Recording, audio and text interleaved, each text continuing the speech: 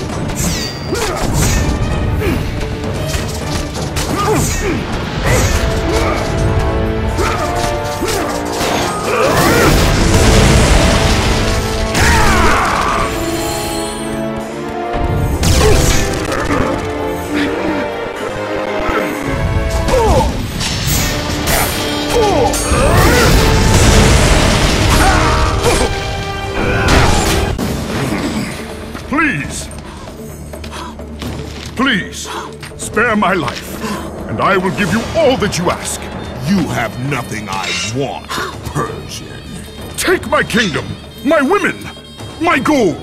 I won't take your riches, but I will take your life.